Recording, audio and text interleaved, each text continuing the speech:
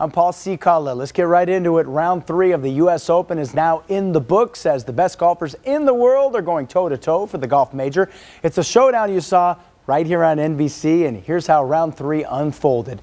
Rickie Fowler was looking to stay on top of the leaderboard after a solid round one and two, and onto the 13th hole we go for the birdie, and Fowler is making it happen, Captain. This clutch putt will move Fowler to 11 under. He is now heading into the final round, tied for first at 10 under with Wyndham Clark. Hey, keeping it right here in the old Pueblo, your professional indoor football team took on San Diego in a battle for border bragging rights. It all went down with the Sugar Skulls at the TCC as Tucson was gunning for its third win in a row. And early on, a quarter